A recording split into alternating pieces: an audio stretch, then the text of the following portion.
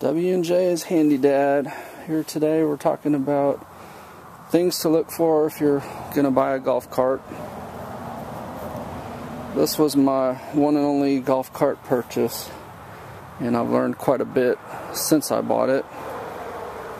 So hopefully you can learn from my mistakes and not make the same mistakes that I did or at least go into your purchase knowing things that you may or may not have to fix or replace. So one of the obvious things you can check is the tire tread. Look at all four tires very carefully. Look for things like separation. Look for nails or patches, different things like that. If you're planning on buying one to uh, jack up and put new tires on, then obviously that won't be as important to you. But if you're needing it to be ready to go when you buy it, obviously you want to look at the tires and see how long they're going to last. Tires can be one of those things that can be expensive to replace, particularly if you are just doing it on a temporary basis until you get the jacked up tires. Obviously, if you can, you want to drive it. Make sure that it accelerates, goes in reverse, and stops when you hit the brakes. You also want to make sure that the parking brake actually activates the brakes enough to stop the vehicle. Now, the nice thing is, if you've seen my video on adjusting brakes, it could be as simple as just the brakes being out of adjustment. If you can get under the vehicle and see where the brakes are.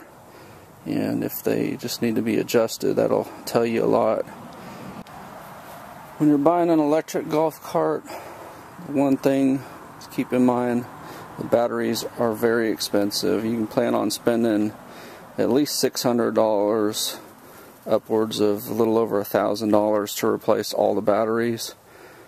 So a couple things you want to keep in mind. One a lot of the batteries will have a date stamp on them. You want to see if they're all pretty close.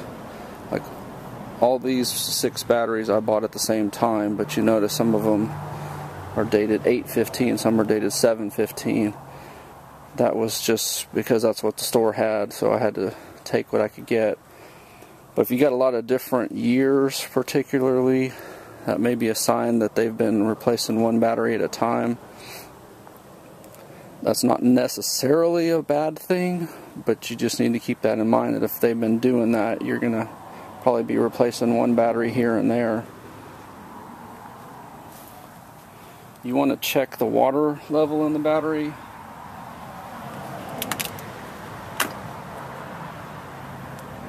I don't know if it's showing up on camera, but the water should be above the fins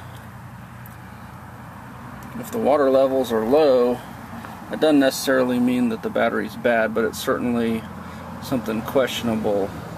Uh, they need to be topped off with distilled water. Do not put tap water in here. You want to plug in the charger and make sure that it clicks on and is charging. When it's charging, you might also open up those water caps and look for bubbles in the individual cells, that's a good indication that the cell is working and is charging. If you have a voltmeter, obviously you can check the batteries.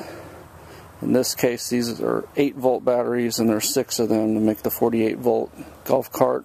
Some of them are 36 volts. you may have six 6 volt batteries, different combinations, uh, but you want to check and make sure that they are putting out the correct voltage. I'm going to say a good rule of thumb on the batteries from what I've experienced is they last about five years. Obviously you may get less, you may get more.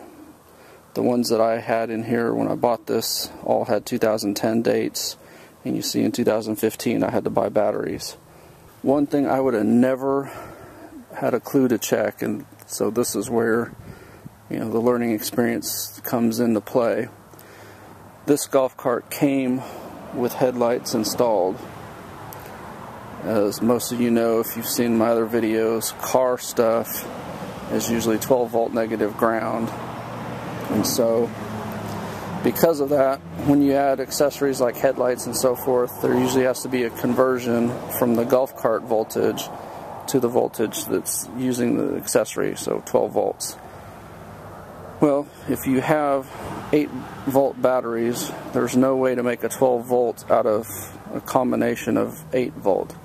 You could take three 8 volt batteries, make 24 volts, and then split the voltage so that the hot goes to the hot on one side and then the negative connects to the other hot on the like in your lights you have the hot from the battery go to the hot on the one light the negative on the one light go to the hot on the other light and then the negative from that light go to the negative on the battery that in essence turns your lights into a 24 volt light you could do that. The problem with that is you're going to be pulling power from half of your batteries, and I don't know how well these chargers can accommodate for that sort of thing.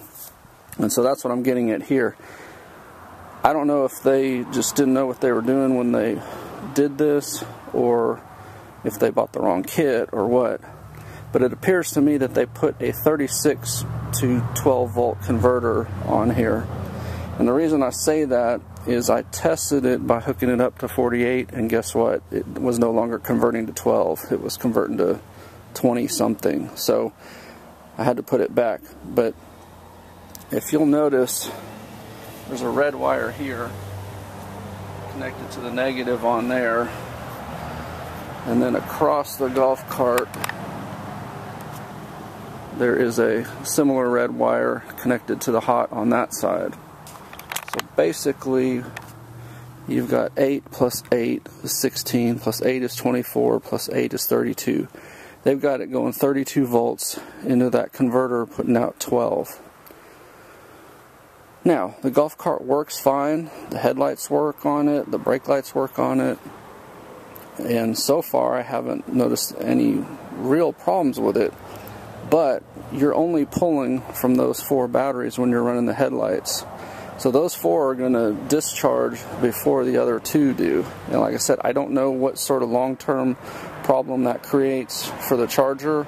I don't know if the charger is able to accommodate and just charge those other four batteries more so than the two that don't need it, or if it shuts down once the two are charged and therefore those four will never get fully charged.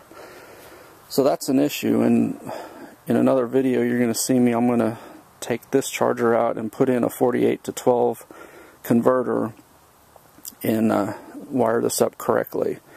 But that's something I would have never thought to even look for buying a golf cart.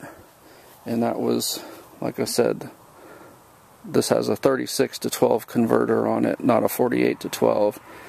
And that wire right there would be over here if it was a 48 volt conversion. So that's probably one of the things, like I said, you would never expect. You turn on the headlights and they work, the brake lights work, all that. Would have never thought to check for that, but as I started digging into this, I noticed that and went, whoa. And then, like I said, I tried connecting it to the full 48 and then the headlight stopped working. So that tells me the converter on here is is only a 36 to 12 it doesn't offer a 48 to 12 there are a couple ways to check the batteries the, the cells themselves. Uh, I made a handy dad blunder. I actually own one of the battery checkers and I can't find it and I've been looking and looking and looking. I probably spent the last 30 minutes looking for it. It's not where it's supposed to be so lesson there. Keep your tools better organized. Mine are pretty well organized but every once in a while I'll get a stray tool like that that I can't find when I need it but basically it looks like a turkey baster and you open up the water suck up some of the water and it'll tell you the status of the cell that's there. I'll be honest, I don't know how well that thing really works, but supposedly it tells you. The other thing is if you have a multimeter, you can check the individual cells and see what they're reading.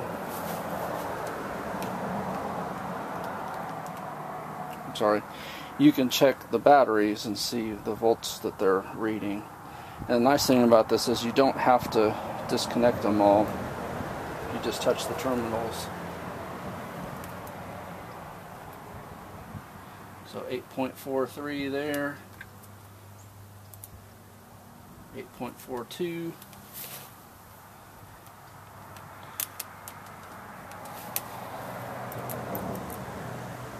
Eight point four five.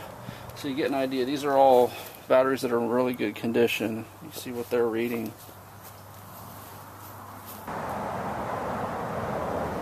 8.41 over here.